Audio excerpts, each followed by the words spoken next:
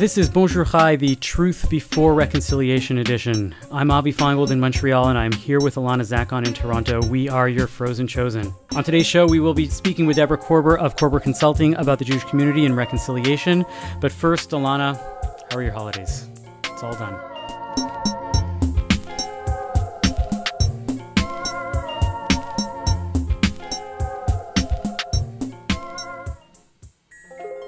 Really nice.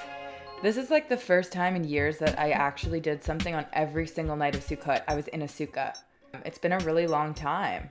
So that was nice. And I got to see a friend of mine who came in from Kitchener and uh, I got to meet her whole family. Like a really good friend of mine that used to live in Vancouver. I got to see my own relatives. I had uh, a l'chaim for my stepbrother who's getting married. So my mom came into town. So it was like a lot of family stuff, lots of good meals. Um, it was super nice. How are the rest of your chagim? long and exhausting. uh, you know, um, you know, it's the midweek holidays are basically it means that you have holiday and Monday, which feels like a Friday because you're just preparing for the holiday. Every you day have feels like a Friday Of like month. exactly, and I just. I done, and then you know it's just this on and on and on, and I, and now it's Thursday again, and I have to like prepare for Shabbat again tomorrow night, and uh, Right. I'm ready for a full week of work next week and to like get back to some semblance of normalcy. There's, uh, it's wonderful to have all these holidays, um, and we had great weather. I must, uh, you know, accept that this was an exceptionally good weather uh, year for the sukkah for being around, um, but uh, it's it's a bit much, and I'm ready to move on. Fair enough. Did you see that Yeah. article that came out uh, about the the plant based pork? Which one? Impo- impossible. oh my pork? god, yes, yes. What do you What do you make of that? Oh my god. Um, so for those of you who haven't seen it yet, you should go check it out. The the people who make the Impossible Burger um, are set to have a new product called Impossible Pork. That uh, if you think that Impossible Burgers taste exactly like you know beef, this is going to be the be. analog of that for pork. Um, have you tasted Impossible Burgers first before we get into that? Uh, yeah. I mean, I've had like the Beyond Beyond Burger. Is, is that's a different Close brand? enough, I guess. yeah. Close, close Different enough. brand, but it's the same concept. Same What's your take on them before we even get to that? Um, you know what? At the beginning, I was like, why would I have that? Like, I can just have kosher meat. I don't need this fake version of a burger, but I can understand why it'd be good for people who don't eat meat at all. But then I started having it if I had a barbecue. It's just like an easy thing to have when I was with a bunch of people who didn't keep mm-hmm. kosher. But I find that there's just so much crap. I don't know if I'm allowed to swear on this, but there's there's You can say crap. I can say crap. Actually, you've said way worse things on the show. Who am I to talk? but there's there's just so much like uh like uh what are the what's the word I'm looking for? They're unhealthy. There's like it's, it's unhealthy. So th- it doesn't go down very well. Let's just say that. So I've been refraining from eating them for the last number of months because I noticed I spent a lot of time in the bathroom afterwards. Um, that's my take on Yeah. uh, the fake burgers. My thing from a culinary perspective is that they getting the texture very very close, right? If if you know the uh, Gardein or Morningstar Farms or any of these other brands of you know burgers, Very were true. never really they they never got the texture of meat or ground beef down Right. Almost too so much with like the, the fake blood in a some little of the versions. dense It's and like, stuff. But this, it's like they really they worked hard at getting that texture and that bite Yeah. of meat. It doesn't True. exactly taste like beef, but it's gotten a lot closer. And I'd be Mm-hmm. curious to see what their pork product was taste like. Sadly, and this is clearly where you were going with this, um, the OU has declined to certify it as kosher, even though there's strong intimations that there's nothing unkosher in it, that they would Mm-hmm. readily certify it based on ingredients alone. Um, but uh, for reasons beyond that, they, no pun intended, um, that they recognize, they say we have certain consumer sensibilities to adhere to. Um, they don't want to certify a product that is called pork. Um, I have eaten, and I, don't, I just don't get it. I mean, everybody knows that pork and bacon are a, like they come from pig, but the flavorings and the substitutes are all over the place, and there's so many Mm-hmm. of them, and we have no problem with them in the Jewish community, whether it's you know vegan uh, fake bacon, and bake- yeah. or fake and bacon, or whatever you want to call it, or the ones that are actually meat that are basically beef fry that are smoked in and you know and made Mm-hmm. in that way with or you know I've I've seen lamb bacon from lamb belly you know, I my my favorite is because uh, one of the brands calls it uh, Facon, F A C O N, which Yeah. I think is like just their, their fancy way of saying facon, right? Like it's, it's their fancy bacon. Um, but like Oh, we all know that that's f- what it is, and it's different than actual. Like it doesn't come from a pig, and that there shouldn't be a reason Right. for it. If we really cared about that, we shouldn't be doing bacon flavored chips that are dairy. Mm-hmm. You know, for that for that matter. Are they? I, I always just assumed Um, oh my I God. couldn't- I couldn't eat them, and I just wouldn't. I wouldn't touch them. I mean, you look at them for the kosher sign, and the kosher sign often Yeah. has the D attached to it, and I'm like, Oh, I so never even checked. chips that are dairy. "That sounds terrible Bacon flavored chips that are dairy, that are kosher and dairy, are fine Yeah, that's because oh, we all know that it's fake. But if this thing is called pork, but it says plant-based pork, we're still not going to to certify it. I, I, it Mm. Right. boggles my mind. You know, it's it's interesting because like I, I have to push back on this a tiny bit. Um, where I, I mean, people should be able to to have access to because it isn't meat. But I remember growing up, I would get uncomfortable around the fake bacon bits in like Caesar salads that they would put in like kosher. I love fake bacon bits. I it made me kind of uncomfortable. Like I, I think it's just like the taste and not the taste. I've never had real pork, but the smell of bacon I actually find like really unsettling to my system. And I don't know if that's like psychological or if it's because I never had it or because I'm Jewish, but like there is something about the smell of pig that really really like makes me viscerally react. And so like the taste of like that little fake bacon and maybe it didn't even taste like real bacon at all, but like I just didn't like it and I would always pick them off my salad. Uh, I I recognize that a lot of people have that, and on based on that though, do you think that the fake bacon bits shouldn't have a kosher symbol on them? No, definitely not. I mean, I think it should be up to each individual person if they thing. want to have it or not. Exactly. Exactly. I, I it really bothers me when you have this like mission creep um, Hmm. that kosher organizations start like you know stretching the the definition of what they will and will not certify as kosher. Right. Um, and like you know there was a restaurant in New York that had to change their name. There was a kosher restaurant called Jezebel, and the kosher certifying organization said like, oh, this is a little too much for us, and so you have to change your name to. They changed it to like J Soho or something like that. I remember. weird. Um, I just like I don't know. It's not up to you. You're you're not. I don't think that we should be moralizing in places where we're not being asked to moralize. What's your take um, as a rabbi? Because I actually brought this up in conversation at my Shmini Atzeret at lunch yesterday with some friends, and I was like, "What? What do you all think about this?" And then one person was like, "Oh, I thought that we weren't technically allowed to replace foods that we can't actually eat because then, like, halachically, it might be like." It might tempt us to eat more, but then the other person was like, "No, it would actually tempt us to eat less because then you have an alternative." Like, what do what do you think as a rabbi? so so this this is not a new argument right this always this goes all the way back to the talmud right? And the talmud has these discussions of like what should one do if one has a craving for this unkosher food or that unkosher food? And it, they go and say well you should eat i'm trying to remember i think for pork they were like you should eat the this innards of x bell. fish or something like that Right, yeah, yeah, and yeah. and I, I- I try to remember what the animal or what the product was Yeah. but they the talmud is very explicit that says you know if you have a craving you can fulfill it with a, a kosher thing that tastes just like Similar. that and you know in, and enjoy it um, because the thing that is being forbidden is not the taste of x or the idea of x it's the, actual food. product itself Yeah, yeah. right we shouldn't be we shouldn't be allowing if we really cared about that we shouldn't be allowing to have non-dairy creamer. Hmm. right? To go and say well you're allowed to have non-dairy creamer after your Hmm. meat meal with your coffee because that's just not kosher. Right? It's n- there's no difference to me and yet we do that all the time. We make. Yeah. fake shrimp all the time. We Yes, make it that is very true. I- it's a we make it in the freaking in- shape of shrimp. Yeah, right? no, it's not true. like it's not like we're even pretending. Yeah, no, right? That- and, and we and yet because we are so pretending yeah, right? Like so why is that allowed but ground beef ground meat that is designed to taste like pork right is not allowed because it's called pork. Like it just boggles my mind and i have no problem with it. I'd be the first person to certify it if they you know came to me. If you guys are listening and you want us to sponsor the program i will certify your uh, you know impossible pork and uh, it'll be the official fake pork product of uh, Bonjour Chai.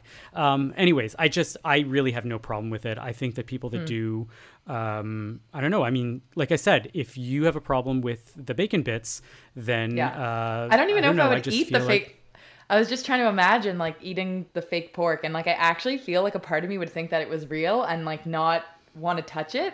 Like it maybe would take me time to actually try it, even though it's fake. But yeah, I don't know. That's where I'm at. But it could be certified. I think it should be, Eh. could be, and should be. Um, yeah. Anyways, before we get to our main topic, let us hear from our sponsor. Today's episode is brought to you by our sponsor, Atelier Lou Bijouterie in Montreal, Quebec. Atelier Lou specializes in watches and custom designed jewelry along with a curated selection of designer jewelry. Visit them online or in person, and Eric Goldberg will help make your jewelry dreams come true. Atelier Lou is offering a promo code for all Bonjour Chai listeners using BON18 at checkout for 10% off your order at atelierlou.com. And uh, the, the Atelier Lou gifts do keep rolling in for the bat mitzvah, but uh, we can talk more about those another time. Um, really, uh, Eric's Eric's great. I um, we we should talk more about the pieces that he has available, but uh, for now, on to our next topic.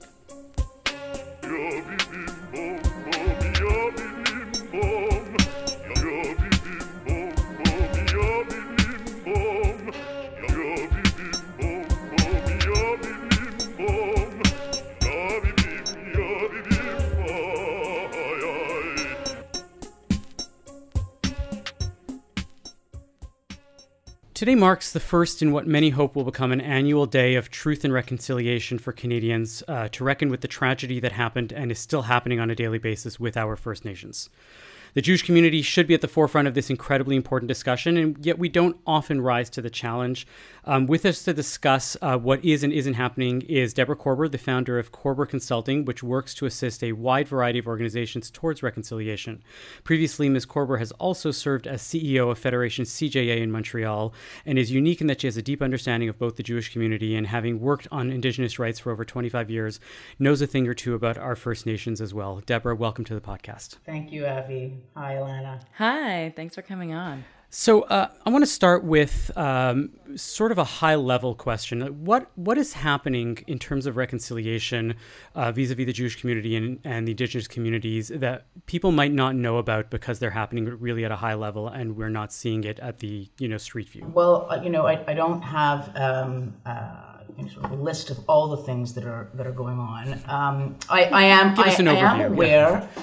Um, certainly that individual Jewish federations are doing a whole wide range of programming. For example, I I signed out a blog um, last night um, on Honor the Day called Truth Before Reconciliation, and one of the people I sent it to is Andrea Freedman, who's the CEO of um, the Jewish Federation of Ottawa. Uh, and who is who is a, a friend um, of mine from Federation days, and um, she wrote back immediately and said, we have a program this morning at uh, at nine o'clock with Bob Watts, who's a really um, highly experienced uh, Indigenous advocate and leader, and they're they're calling their program National Truth and Reconciliation Day: Symbolic Gesture or systemic change, which I thought mm. was just such a um, a great a great title. And she she mentioned in the note to me that they were going to do it originally just for staff, and in the end decided just to open it up to the broader Jewish community, which I thought was really um, fantastic. Yeah, that's um, Temple Emmanuel here in Montreal, I know, has a working group on truth and reconciliation. They're developing um, a land acknowledgement that they can use in their programs um, and looking at a wide range of educational initiatives. Shaar Shemayim, where I am a member, I'm not aware, Avi, you would have a much better idea than I do of programming, but I know I've been invited on a number of occasions over the years, I would say over the past 10 to 15 years, um, to, uh, to, to speak on um, reconciliation and, and, and, Indigenous rights. I, I, know that somebody will be giving a sermon about it. Oh, well, that's wonderful. That's fantastic. I, I actually did um, I, I, wouldn't call it a Devar Torah, but I did a little um, talk on it. I've lost track of time, but maybe about 10 years ago. Uh, and, and I did it on residential schools, and it was uh, in the third or third parallel service at Shaar Shemayim. It was on it was on Yom Kippur. Uh, and I talked a lot about atonement um, because obviously there was a, a, a very a clear connection there. So, you know, there's certainly a lot of interest. I know um, the other federations in Canada are doing programming and having panels, etc. CIJA, the Center for Israel and Jewish Affairs, um, has been very, um, very interested in, engaged on uh, issues of Indigenous rights. CIJA, of course, is our is our national advocacy organization, and of course, they come at these things from um, not just a moral perspective, but a strategic perspective.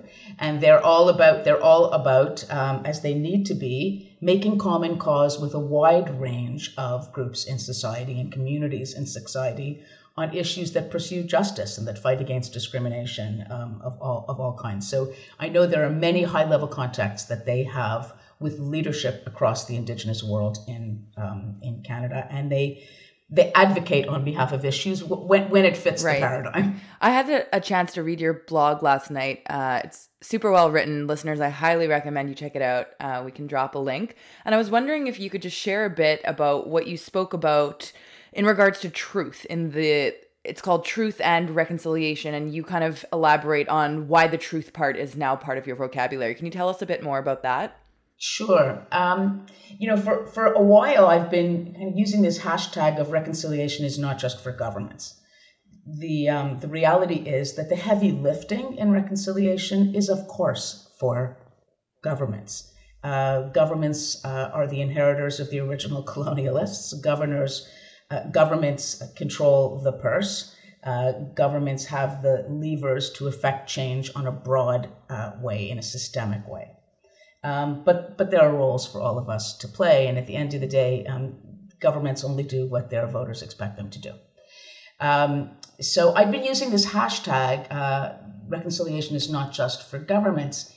Um, and when these gruesome discoveries um, happened of of um, the remains of children on the site of former residential schools, and people were just uh, horrified and indignant and how come we never knew about this? And i was really for days wandering around the house really kind of in a i don't know i was irritable. And i, I just kept saying to my husband where have people been living under a rock? Uh, because we should have known and because we've been mm-hmm. told about this for a long long long time. So it got me really thinking about why don't we know?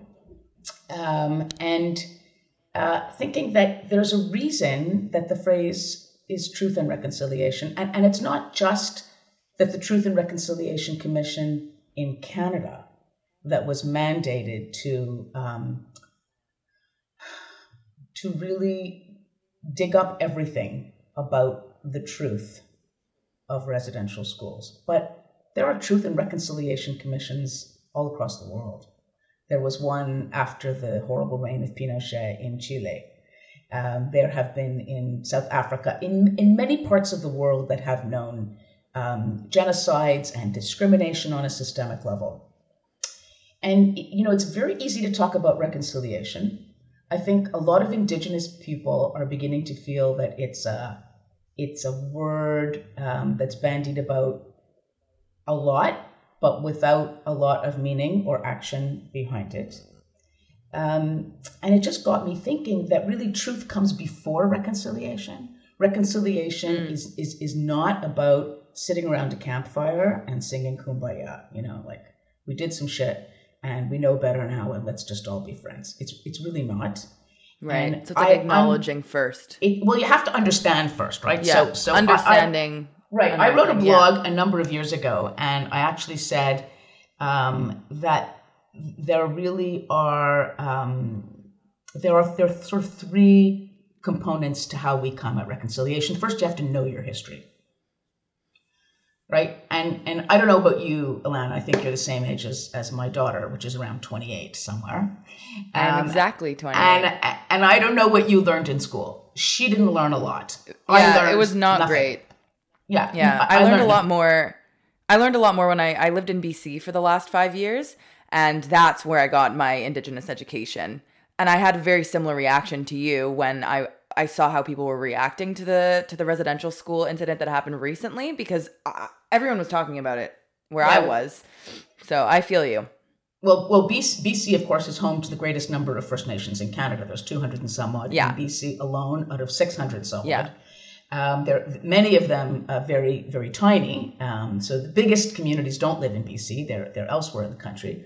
Um, but there are many, and um, issues around Indigenous rights and residential schools are much more, I think, front of mind um, in BC than they are in other 100%. parts of the country. Um, so, first of all, you know, knowing knowing the history, and and that means knowing the truth, the truth. What what what happened? And then understanding the implications for today and finally you move on to action. You know we should be at the forefront of this. You know as a community that is so caring about our truth of what happened in the past hundred years right? As people who, you know, look for Holocaust deniers and root them out and say, you are wrong. We are here to tell you the truth. We look at people like Deborah Lipstadt as heroes of ours. And yet, we are not doing this in the Jewish community. We, I, I did an informal survey of schools in Montreal, right, just by asking around. I know a lot of parents. Only about half the schools in Montreal are doing Orange Shirt Day today or doing a program in school um, to talk about it. Um, the Montreal Holocaust Museum hasn't had a single post about this on any of their social medias in the past month or so. Um, we should be the ones saying we care about truth, we care about genocides, and showing that it's not just about us. Never again doesn't mean just never again for us, but never again for the world to have genocides. And yet here's a genocide, and we're not always at the forefront. So should we be doing better and what what are the things that we should be like looking towards to say hey we can be doing better as a community well, yes, we should be doing better. I think all non-Indigenous Canadians should be and need to be need to be doing better. But you're you're yeah. right, Avi. I mean, certainly we have a natural um, affinity with um, not just uh, searching out and revealing and holding people accountable for the truth, um, but for anything to do with justice. I mean, you know, tzedek tzedek tirdof. I mean, this is at the core of what it means to be to be Jewish. Um, and Jews have been at the forefront, certainly in modern times, of virtually every civil rights battle um, and anti-discrimination fight that has that has taken place. And, I must say that in the area of fighting for Indigenous rights, that's true as well. I have found there to be a, a disproportionate, in terms of our percentage of the population, number of Jews who are um, advocates for First Nations, Inuit, and Métis peoples across the country. So that that is um, that is still the case. But organizationally, but there's a distinction organizationally, yeah, I was going to say the distinction to be made between Jews being at the yes. forefront and it yeah. being at forefront of the Jewish community. Having worked for an organization like CJA, what, what would you say are the barriers that exist from bringing more of that into big Jewish organizations when you're also trying to advocate for Jewish rights and bringing up Jewish issues? It's like how much is there is there space? Is that the problem? Like, what, why do you think that there's there's been those barriers, or are they there? Maybe uh, they don't need to be there. Yeah, you know, I, I don't know that there are barriers so much as there are issues of, of mandate.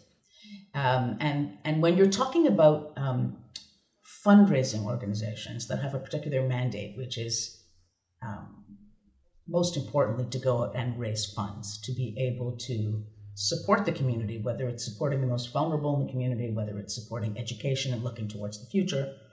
Um, and they're accountable to donors and you know donors all have different views on um, how the dollars should be allocated so um, getting engaged in issues that strictly speaking go beyond the mandate of raising funds for the jewish community uh, um, is is a little bit fraught. It doesn't mean that it can't be done, mm-hmm. and it won't ever be done. Obviously, it's being done in some federations today, um, but it's certainly not at the front, uh, the forefront of of, um, of federations' minds. But but having said that, federations, of course, although they play a very central role in our community, they are not the only Jewish organizations that exist.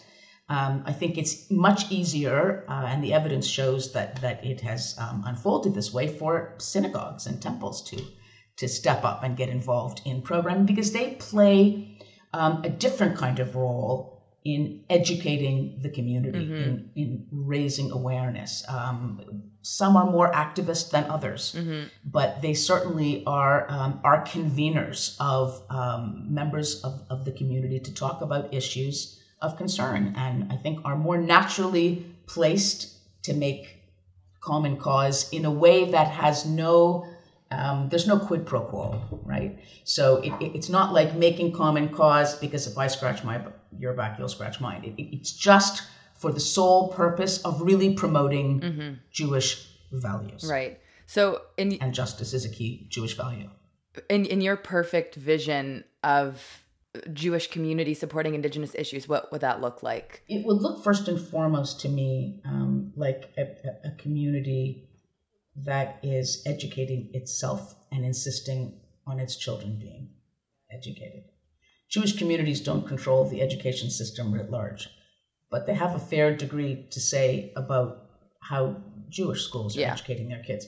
A number of years ago, um, I don't maybe two or three years ago, the Segal Center in Montreal um, put on a fabulous performance. You may have seen it, oh. Ilana. It was in Vancouver. I think it was originally yeah. Vancouver co-production.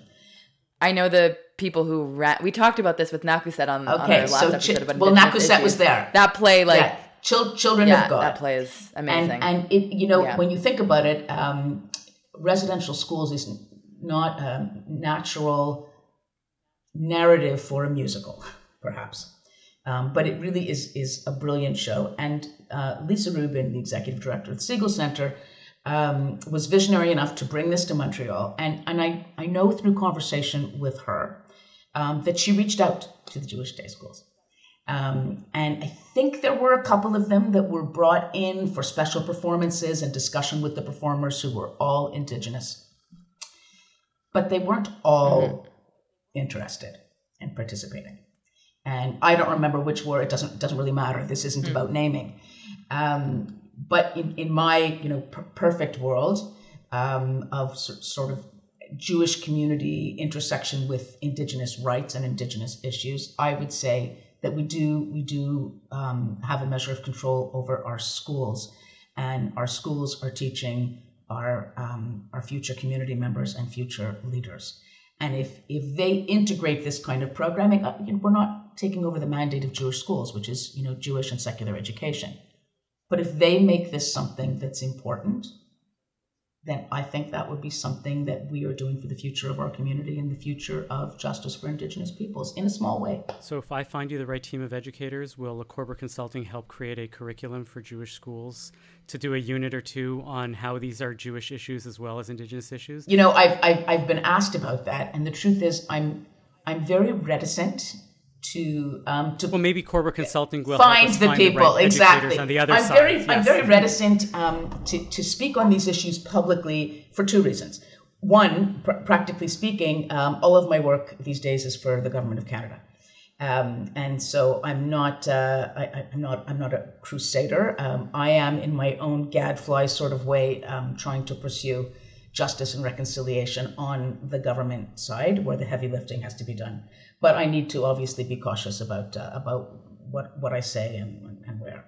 But the more hmm. important mm. reason is because um, I don't think it's right for non-Indigenous people to be speaking for Indigenous peoples. Um, there, I, I, I will help then make. Yeah, no, no. Listen, Avi, you, you're we're, we're on the same we're on the same page on this. There are first of all there are um, Jewish advocates for Indigenous peoples who could be a great bridge to finding the Indigenous spokespeople and advocates to mm-hmm. help construct these curricula. So it's it's not it's not a hard shidduch to make. Yeah, I know many in Vancouver who work in in that specific area, and they told me that there's a lot of Jews, a lot of young Jews around my age who specifically work direct uh, with the Indigenous community. So there's certainly people out there. I was curious in your work that you've done, what do you feel is the biggest gap in people's knowledge, not necessarily in the Jewish community, but the community at large that is non-indigenous. Like, where do you think, uh, like, which part of history is the part that's most overlooked, or is it just denial in general that that you have to face um, when dealing with people who haven't really uh, come to terms with what happened? I think the biggest problem is ignorance. I think people just don't know. Um, I, I think it's sad but true that sometimes horrible things have to be made very real and concrete before people pay attention.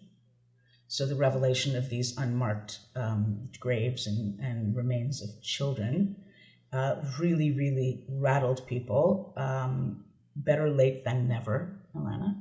The question is, how long will we continue to pay attention? We have yeah. short attention span. It's it's it's a paradox that we we live in an age of unparalleled access to information and yet our attention spans are short.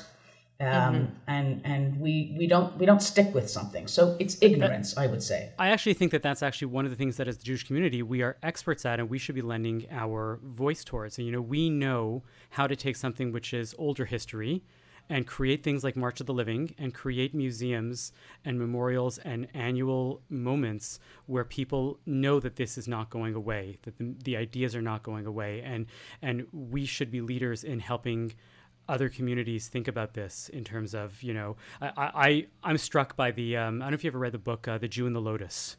Um, it no. was uh, so the book came out about 25 30 years ago somewhere around there where the Dalai Lama had collected a group of um, Jewish scholars from a, across the spectrum, whether academics or spiritual scholars, um, and he gathered them and he said, "Listen, we are a people in exile." Um, you have been a people in exile for thousands of years, and you seem to be making it work. What can we learn from you? Um, and and we are very good at taking a genocide and keeping it at the forefront of our minds and of the world communal minds. Um, and we should be lending our expertise in that way to say this is just because the residential school graves were dug up this year doesn't mean that we have to let it go and let that information peter away after a year or 2 mm-hmm. or three. That's an excellent point. Um, I, I, think sort of uh, more broadly about the um, the affinities, the natural affinities that we have, uh, having lived the most horrific uh, genocide in re- recorded history. Um, there, there are many differences, of course, but there are certainly um, parallels. But I hadn't really thought about it the way you put it, Avi, is knowing how to um, keep a genocide and, and, and the truths and the accountability for that genocide at the forefront over mm-hmm. time. Mm-hmm.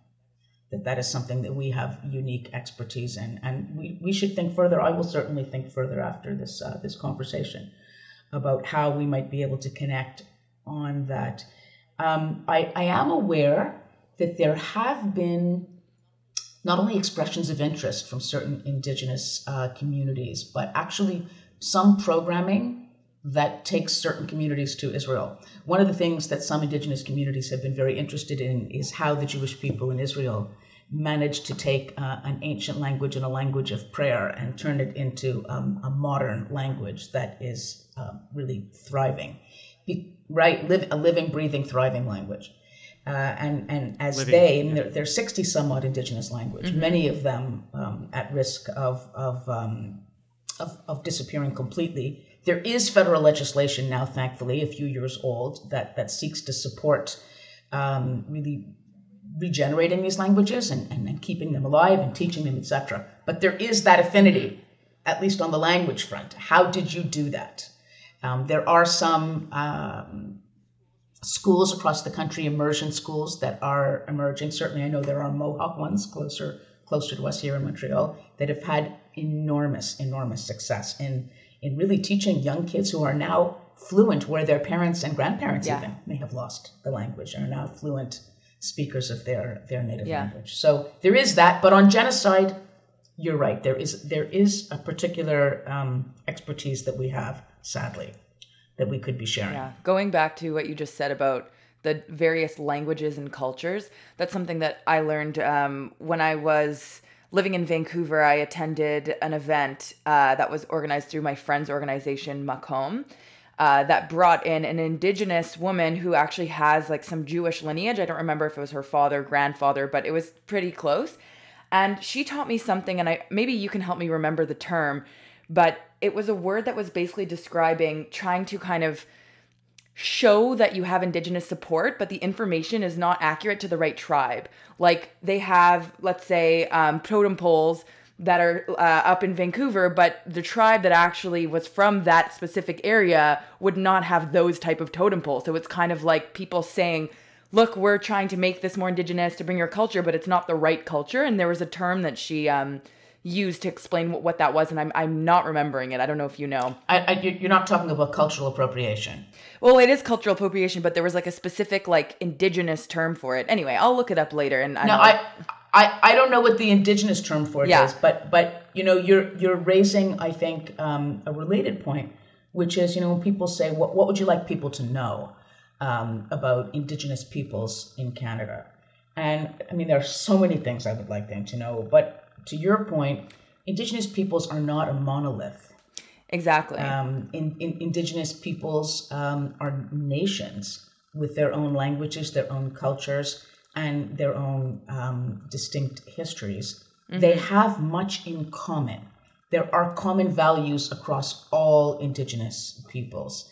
Um, reverence for the environment being um, a, a core shared value Um, another that really resonates with me that I wish people knew was that indigenous peoples, perhaps not all, you know, I'm not I'm not a sociologist, I'm not an anthropologist, so I, I don't claim to have expertise in, in indigenous culture, but what I have picked up over the years is that certainly there are a number of indigenous nations um, that um, are in their decision making always looking forward to the next seven generations. Hmm. And that notion of the decisions we make today are not just about us or our children or grandchildren, but will have implications for the next seven generations. Um, and so I, I think about that a lot because I think um, as our attention spans get shorter and shorter and as environmental issues in the world get more and more grave, um, we, we are at risk because because we don't seem to be able to think further than our our nose, and that's something that uh, Indigenous peoples do a whole lot better than we do. I also I I also want people to know that Indigenous peoples, you know, while we're talking about truth and reconciliation and the painful uh, legacy of residential schools, that there's so much positive mm. going on in Indigenous communities across the country. There is incredible resilience. There's unbelievable creativity and innovation and um, economic growth and thriving. And um, on the cultural front, th- th- this is, you know, a, a, um, such an incredible area for people to explore. There's indigenous contribution to this country. We we tend to think of indigenous so peoples as the ones that we we have to compensate, and we do. Um, but but as people who are just victims or people um, mm. that, that we need to care for. And in fact, that's not true. We have to do justice. Uh, we have to share resources in this country and we have to share power in this country and allocate it more fairly and differently. And that's hard for mm-hmm. people to do.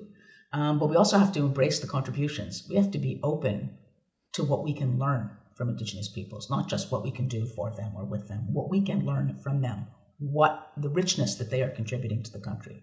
100%. I have a question for you, lots, but lots to learn. before I yeah. forget it, I just realized that my friend's organization is Hamakom. I've been in Toronto for three weeks and I'm already blending organizations.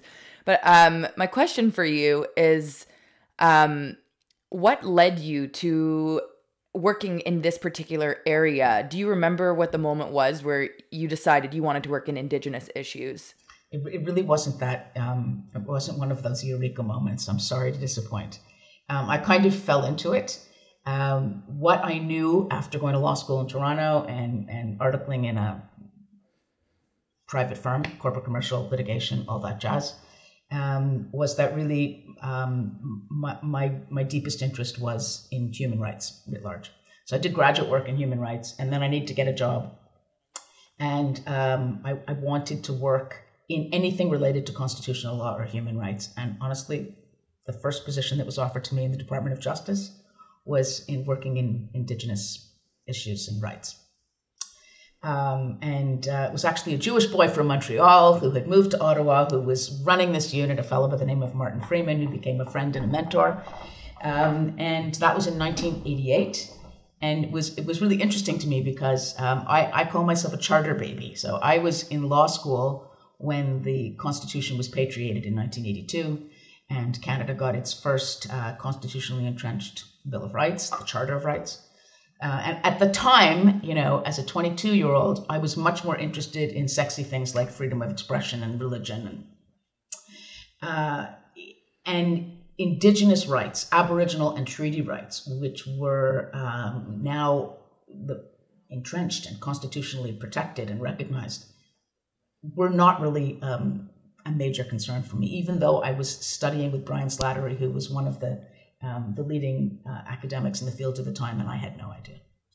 Uh, but when years later this position was offered to me, um, I jumped at it because obviously Aboriginal rights are human rights, and I thought, oh well, this is kind of a subset, and I fell in love with the field. Um, I fell in love really with um, the Indigenous people that I got a chance to to work with, often sitting across the table um, negotiating, um, but who opened up my eyes and um, and got me to see a little bit more of the truth because I'm learning every single day. Um, and uh, there was no looking back from there. So I know that you, you speak about this a bit on your website, um, but if maybe you can elaborate for us, especially on a day like today, um, what are some of the things that uh, individuals can be doing to both further that idea of truth, meaning how can we learn? What are the concrete things that we can do to learn? Um, but also, what are the things that we can do? Um, whether as individuals or as individuals within the Jewish community, to really, you know, to activate. If we want to be activists, if we want to just go that one step beyond and say, "Great, today my kid wore an orange shirt. I want to do something real, um, but I want it to last beyond September 30th. I want this to to to go further." That's a great question. It's an important question, and as luck would have it, um, in my research for this um, blog, this latest blog that I did, I found uh, something that says uh, it's just it's kind of a graphic. What can you do? Um, that was put out by the Assembly of, uh, of Nova Scotia Mi'kmaq Chiefs. I can share it with you afterwards. It's actually a, a link um, in the uh, the bottom we'll of my blog. yeah, it's, it's, at the bottom yeah. of my blog. Uh, supporting residential school survivors and Indigenous peoples what can you do? And there are a whole range of things that you can do. Um, hosting an orange shirt day or wearing an orange shirt, I, I, I don't want to minimize that. I know these kinds of things can sometimes feel performative. Um, on the other hand, symbolism is important too. And if nothing else, it shows support, it shows respect, it shows awareness, and it can start a conversation with somebody else. So it's it's an important thing, but but obviously, you know, it, it it's symbolic and it's not as, enough. As Jews, we really know the power of ritual. We, abs- right? we absolutely do. We shake lulavs and we often forget why. we do it. So true, so true. Okay, so um, I'm just going to uh, point out a few of these things. There there are many suggestions on this uh, on this page. So we can hear the stories of survivors. There, uh, there are many programs to watch. We Were Children, read Out of the Depths by Isabel Knockwood. I mean, you can have a whole reading list of things that people could do. We can do what we do so well, which is philanthropy. Um, it's not something we think about very often, but we can donate to organizations and support counseling and other supports for survivors. Uh, there's the National Indian Residential School Crisis Line, there's the Legacy of Hope Foundation, there's the Orange Shirt Society, and there are many others. So we can give with our dollars, not at the expense of other things that we support, but in addition to. We can support Indigenous artists. This is really very dear to my heart because I have a background in music before I went to law school. So, artists, drummers, singers, dancers, language learners, and even small business owners um, they, they're all helping communities to heal. Um, we can do something, Ivy, we touched on this earlier. We can seek out Indigenous advocates and give them a, a voice. When we're um, organizing programming, by all means, use mm. people like me to help connect to Indigenous speakers who can who can come and share their um, th- their perspectives. It's it's really important to have authentic voices. But that's not a substitute for doing the work. And just like you hear people speak um, in the context of uh, the Black Lives Matter movement about the exhaustion that Black people are feeling, Indigenous people are feeling the same thing of having to sort of, oh, here we go again. I have to sensitize you. I have to educate you. Um, we have to do the work. We have to read. We have to learn. There are films mm-hmm. to watch. There are so many um, different media that we can consume in order just to learn. Uh, but we also need to hear directly from Indigenous um, people. There are courses. There, I think they call them MOOCs. That are these open online courses that people can take. I know UBC has an open online course called well, I don't know what it's called, but it's in Indigenous Studies and Reconciliation. And these courses are free. I think the University of Alberta has one. So educating ourselves is not a difficult thing to do. Mm-hmm. Um, the Truth and Reconciliation Commission put out um, an immense and powerful report in uh, 2016. You can go on the TRC website and find that. It, it, it's volumes, right? This is a lot to ask um, people to read. Um, but there is an executive summary, and it really kind of gives you an overview of things. And I have a book that I really I I have to get more of them because I usually stockpile them and give them away for gifts. It is a thin volume it is a must read, and it's called 21 Things You May Not Know About the Indian Act by Bob Joseph. You can read it in a sitting, in an hmm. afternoon and an evening. I mean, it's, wow. it's hard to digest because it really smacks you up the side of the head. Um, but if if you really want to get a sense of um, how uh, profoundly colonialism has affected Indigenous peoples in Canada, at least, this book will explain an awful lot, and you will never think about Indigenous issues or reconciliation the same way again. 21 things you may not know about the Indian Act. If people do nothing else, they should they should read that. Then there's I mean there's advocacy things calling on senators to you know to support certain bills and initiatives, etc. But by all means, if you put the link to the blog, people will see this graphic at the end. Um, and you know, for example, if you love culture, think about what matters to you, what what you're passionate about. CBC today. CBC today from 6 a.m. this morning until midnight are playing indigenous music all day. You, you, you understate vastly your background in music. Uh, and so uh, I'm going to point it out to people. she is a wonderful, accomplished musician. Um, what is your playlist? Give us your top few mu- uh, artists that we should be listening to. I can't. I can give it to you. I can give it to you another time. I wasn't prepared for the question, so I didn't. I didn't. I didn't do my homework. I mean, I grew. I grew up listening to Redbone. I grew up listening to Redbone, which was okay. you know when Avi loves the, putting people on the spot back in the seventies, and and I still I still love their uh, I, I, still love their music. I could certainly come up with a playlist for you. Um, th- there's um, one of my favorite artists, by the way, because I have the opportunity just to highlight her, um, is Susan Aglukark.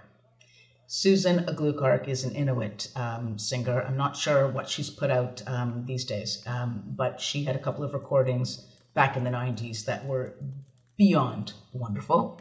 Um, and there, there are just so many artists all across the country and great, great innovation um, that is happening and collaborations. As the play Children of God was a co was a co-production um, between Indigenous and non-Indigenous mm-hmm. artists. Yeah. You, you, had been talking about uh, making native languages into living languages. And one of the things that I find remarkable in, a, in an amazing and positive, beautiful way is the rise of uh, First Nations hip hop and rap music that's coming out of. Uh, oh know, yeah, there's so uh, much. Uh, you know, the young communities, yeah. which is really showing that this is living.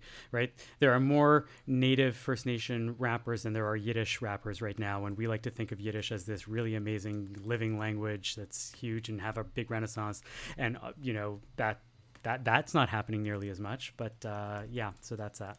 Any any final thoughts? Anything that you want to uh, leave us with? You know, a number of years ago, when I started working um, at Federation, I reached out to Rabbi Scheier at the Shaar, and I said, "I'm, I'm not very Jewishly literate, um, and I really feel like I, I need to be a tiny bit more literate." And so uh, we spent some time, Rabbi Scheier and I, every week, um, me learning from him and we read Pirkei Avot together, Ethics of the Fathers. And one, one of the um, one of the teachings from Pirkei Avot that we we all cite very often as Jews, but which I take very much to heart, is that we're we're not obligated to complete the work, but neither are we free to desist from it. Hmm. Um, colonialism is not unique to Canada. It's not unique to the United States um, the Europeans colonized, and, and, and other civilizations have colonized throughout human history. Um, but I focus on Canada.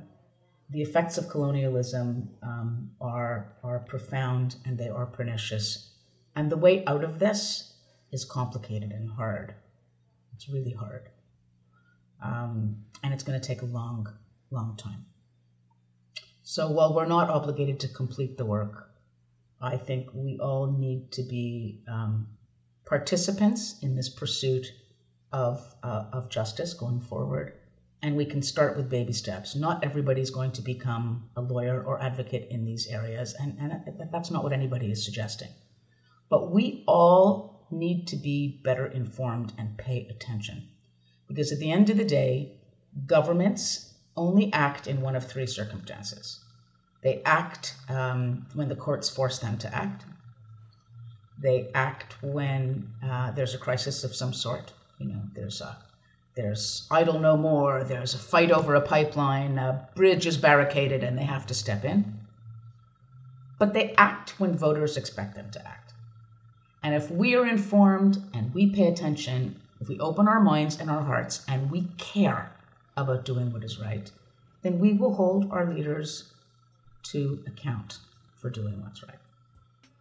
And I hope that's what we all begin to do. And I hope that the Jewish community takes uh, more of a leadership role in, in whatever forms. Avi, you and Ilana had some great ideas today, and I'd be happy to talk further with you about them offline. Sounds like a plan. Excellent. Deborah Corber, thank you for joining us. Thanks for having me. Thank you both.